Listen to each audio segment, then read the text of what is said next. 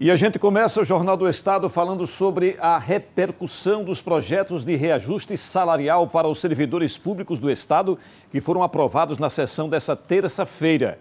Mais de 60 mil servidores tiveram salários reajustados, mas professores e policiais ficaram insatisfeitos com o índice concedido. A sessão da terça contava com cerca de 30 projetos para serem votados. O mais importante, o 67, que tratava dos 5% de reajuste de servidores. O PL de autoria do Poder Executivo foi aprovado. Já as emendas que sugeriam mudanças no reajuste das categorias dos servidores da saúde, educação e forças policiais foram consideradas inconstitucionais. As emendas muitas vezes nem tramitaram. Então foi realmente um show de horrores. A gente percebeu que queria que fosse uma votação mais rápida para acabar logo. Então foram vários projetos votados de uma vez, sem a presença do público. Depois de 10 anos, chegou a esta casa um projeto que trata da revisão geral de todos os servidores públicos. Foram mais de 60 mil servidores que tiveram os seus salários reajustados positivamente, com reajustes que saíram de 5% até 34%. As forças policiais ganharam um reajuste de 5%, mas um acréscimo de 2%. Já os professores não tiveram um reajuste de 33,24%, mas sim um de 10,16%, que deve ser incorporado ao salário como um abono, que tem prazo de validade, dezembro deste ano. Congelamento de triênio, progressão vertical acabou, né? O piso de 33,24% não foi dado, por mais que eles digam o que quiser. Um abono não quer dizer que foi dado piso.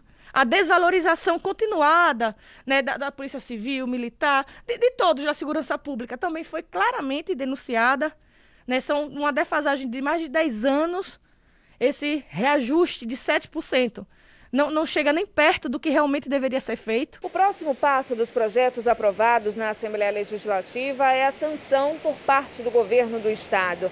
Para as categorias que se sentiram prejudicadas, essa aprovação simboliza um desmonte e os prejuízos chegam em curto prazo. No dia de ontem, os deputados aprovaram projetos de lei que aprofundam o massacre aos aposentados que já vem sofrendo os descontos de 14% desde 2020 e que de um reajuste que eles têm direito por lei de 33,24%, o governo garante e os deputados aprovam apenas 10,16%. Um percentual que não cobre nem as perdas que os professores já vêm sofrendo ao longo dos anos. Nenhuma das pautas de interesse do movimento Polícia Unida foi discutida e aprovada, e nem aqueles que eram de interesse da gestão a exemplo de criação de uma classe superior e a diminuição de interstícios que trouxesse realmente razão.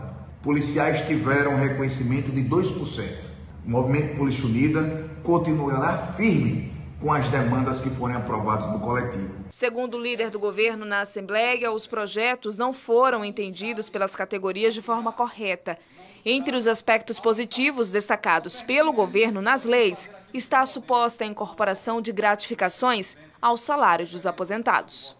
Claro que os que tiveram os 14 mil servidores do PCCV que têm menores salários tiveram reajuste da ordem de 34 e os demais servidores tiveram reajuste variáveis, alguns com 5, no caso da Polícia Civil, da Polícia Militar, 7%, a Saúde 10%, o magistério teve um reajuste que somado os projetos de lei significa 33,24% retroativos ao mês de janeiro, que deverão estar presentes já no pagamento de abril. É evidente que a gente sabe que o reajuste nem sempre corresponde à expectativa. Poderia ser maior, poderia ser mais amplo, poderia ser de uma outra forma, mas é um reajuste. É uma revisão geral. O líder do governo, deputado Zezinho Sobral, falou ainda sobre a aprovação do projeto que revoga a obrigatoriedade do uso da máscara. Tivemos um projeto que fala sobre o uso da máscara, que na realidade não é a extinção, a desobrigar a usar a máscara. Pelo contrário, é transferir para o comitê científico a possibilidade de deliberar aonde devemos usar máscara, aonde será obrigatório e exigido, talvez, quem sabe, no transporte público, pode desobrigar no ambiente de praia, enfim, de acordo com a cidade, o município, existe ou não casos de contaminação, existe ou não casos de internação, como é que está a vacinação. Então a flexibilização desse uso vai depender do comitê.